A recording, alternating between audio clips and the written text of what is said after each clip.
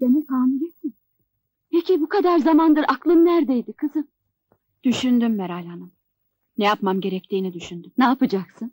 Doğuracak mısın bebeği? Hayır. Babası bunu hak etmedi. Hem doğursam bir başıma nasıl bakarım yavrucağa? Yoksa, yoksa babası bizim İsmet mi? Sana tutkun olduğu belliydi. Hayır Meral Hanım.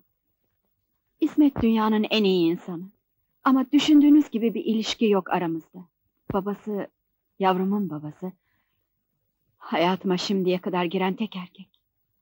En çok sevdiğim ve en çok nefret ettiğim tek erkek Meral Hanım.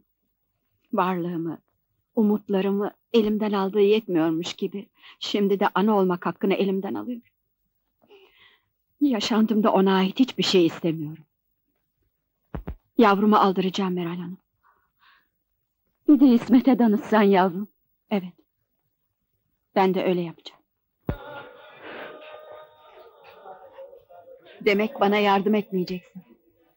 Israr etme. Sana her şeyi anlattım harika.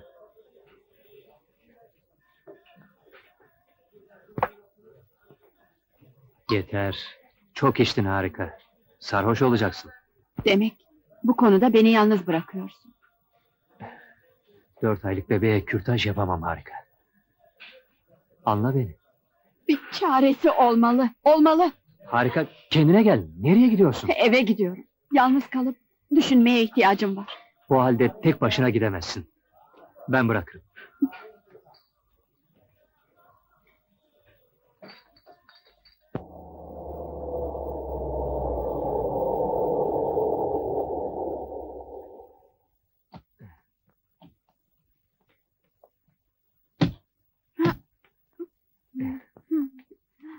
Kendini iyi hissetmiyorsan uyuyana kadar yanında kalabilirim. Sağ ol İsmet ama yalnız kalmak istiyorum. Sen bilirsin. İyi geceler. Sana da.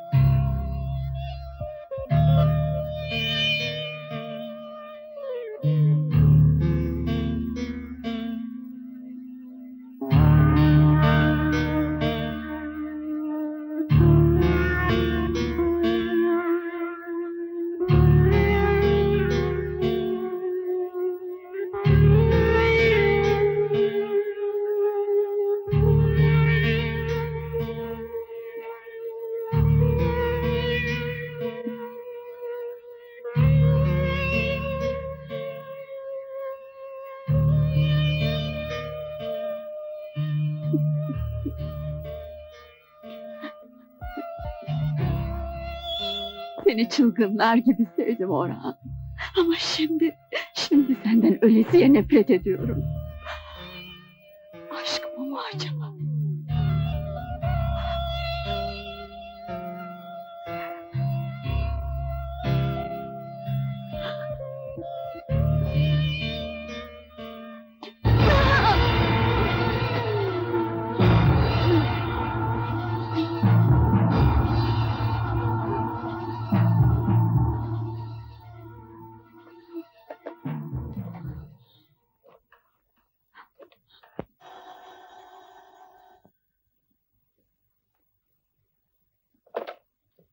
Alo.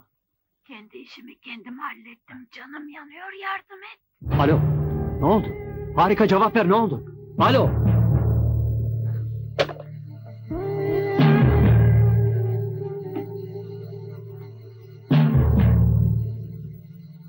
Harika neredesin?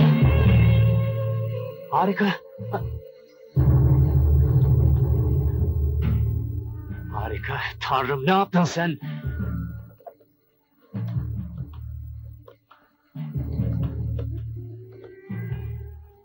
Alo. Ben Doktor İsmet Dereli. Çok acele bir ambulansa ihtiyacım var. Hemen. Adresi veriyorum.